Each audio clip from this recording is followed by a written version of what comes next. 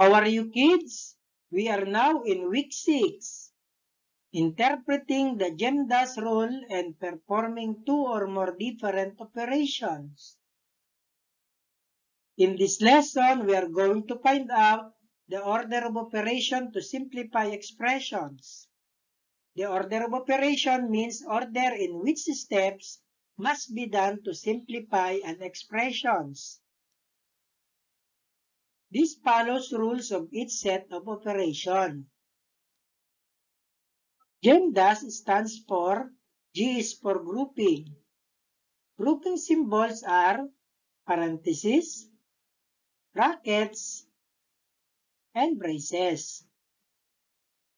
E is for exponents. M is for multiplication. D is for division. A and S are stands for addition and subtraction. Order of operations PEMDAS. P for parenthesis. E for exponent. M for multiplication. D for division. Multiplication and division, whichever come first, the operation from left to right. Addition for A, S for subtraction. Addition and subtraction, whichever comes first, the operation from left to right. Let's take a look at this example. 8 plus 2 times 10. In the first impression, many people mistakenly calculate this without knowing PEMDAS rule, which resulted in extremely wrong interpretation. 8 plus 2 equals 10 times 10 equals 100. This answer is wrong.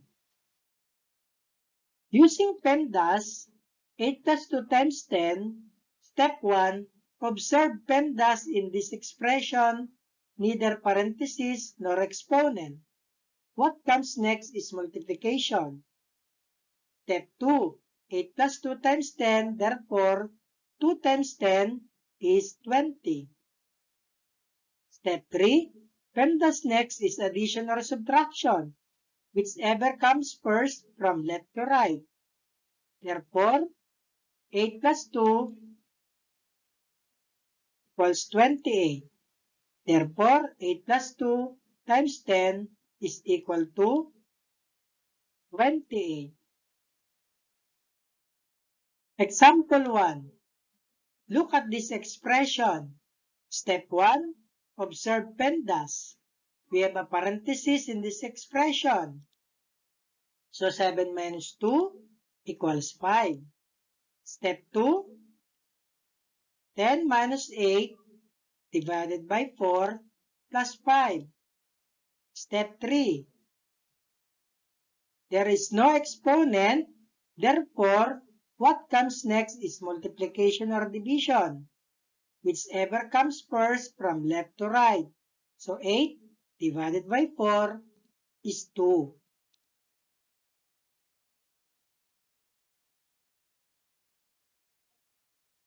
Step 4.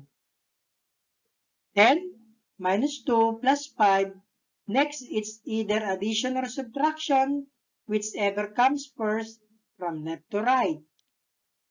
10 minus 2 equals 8 plus 5 equals 13. Example 2. Look at this expression.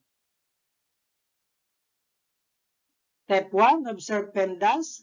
We have parentheses in this expression. 8 minus 2 equals 6. Wrap all those numbers and operations. Step 2, we have an exponent in this expression PEMDAS. 3 to the second power means 9. Then drop all operations and numbers. Step 3, we have a multiplication in this expression, PEMDAS. So we need to multiply 2 times 6 equals 12. Step 4, operate addition and subtraction whichever comes first from left to right. So, addition first. 9 plus 12 equals 21 minus 3 equals 18. Learning task 1. Evaluate the following expressions using Gendas or Pendas rule. This is the expression. Division first, 6 divided by 3 equals 2. Next is subtraction. 10 minus 2 equals 8 plus 8 equals 10. Number 2. In this expression, using PEMDAS, we need to solve first operations inside the parentheses, and that is exponent. 2 to the second power is 4. Then, inside the parentheses, 10 plus 2 equals 10. 9 minus 4 equals 5. Then, subtraction. 10 minus 5 equals 5. Number 3. In this expression, parenthesis first, 6 plus 4 equals 10, followed by exponent. 3 to the second power is 9, followed by multiplication or division. Division, 15 divided by 5, 3. Then, from left to right, subtraction first before addition. 9 minus 3 is 6 plus 10 equals 16. Number 4. Addition first. 5 plus 2, 7 minus 3 equals 4. Number 5. Multiplication first. 5 times 4, 20. Then subtraction, 20 minus 20, 0. Plus 1 equals 1. Number 6. Multiplication first. 8 times 2, 16. Then, division. 4 divided by 2, 2. Then, subtraction and addition. 6, divided, 6 minus 2 equals 14 plus 6 equals 20. Number 7. Exponent first, negative 3 times negative 3, positive 9. 9 minus 6 equals 3 plus 3 equals 6. Number 8. Multiplication first, then division. 9 times 8, 72. 36 divided by 4, 9. Then 72 minus 9 equals 63. Number 9. Parenthesis first. 4 minus 2 equals 2. Then division. 8 divided by 4, 2. Then 2 times 2, 4. 3 plus 2 plus 4 equals 9. Number 10. Using PEMDAS, exponent first, 6 times 6 equals 36. 16 minus 36 equals negative 20. Plus 36 equals 16. Learning test 2. Modified true or false. Write true if the statement is correct. Supply the correct answer if the statement is false. So we need to divide first. 9 divided by 3, 3. Then 10 minus 4, 6 plus 3 equals 9. So this is correct. This is true. Number 2. Exponent first, 2, 2 times 2 equals 4. Then, inside the parentheses, 8 plus 2, 10, 9 minus 4 equals 5. 10 minus 5 equals 5. So this is false. The answer is 5. Number 3.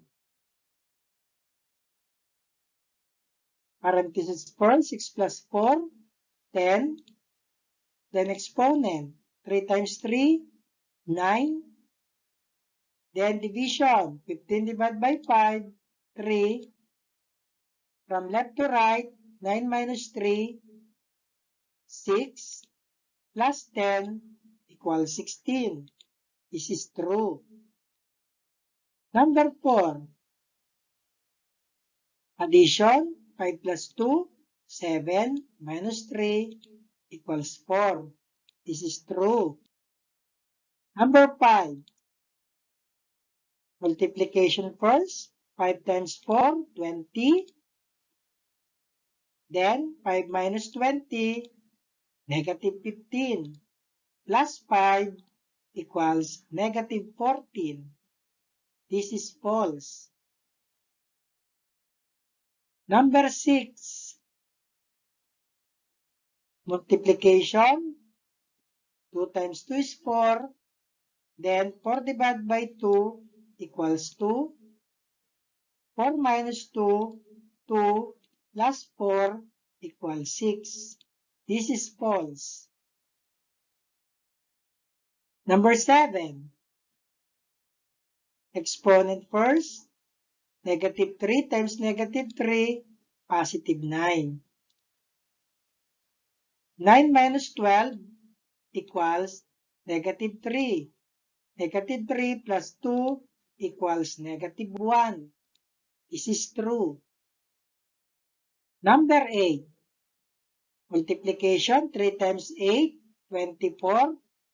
Then 16 divided by 4, 4. 24 plus 4, 28.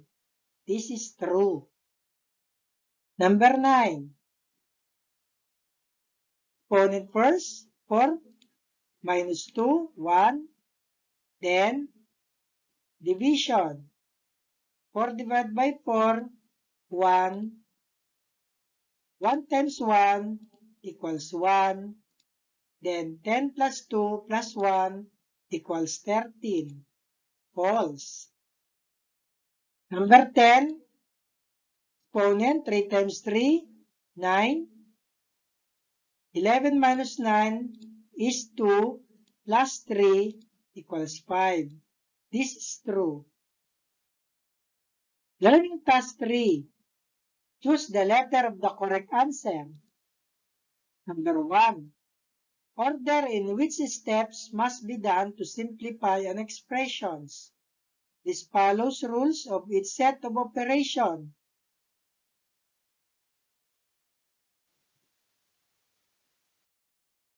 Number 2. Let's solve. Parenthesis first, 4 plus 2, 6. Then multiplication, 8 times 2, 16. Addition, 3 plus 4, 7. 7 minus 16 equals negative 9. Negative 9 plus 6 equals negative 3.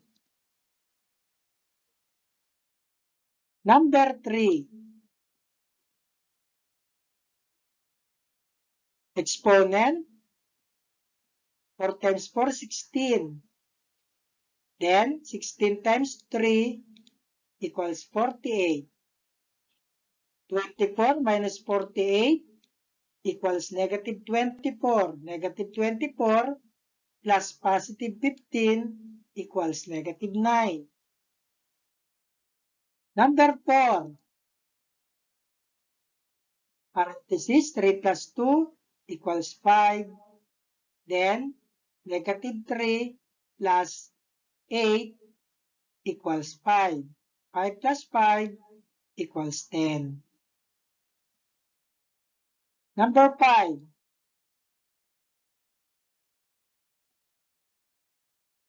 Parenthesis. 8 minus 3 equals 5. 5 minus 3 equals 2. Then exponent. 5 times 5, 25. 25 divided by 5 equals 5. 25 minus 5 equals 20. Plus 2 equals 22.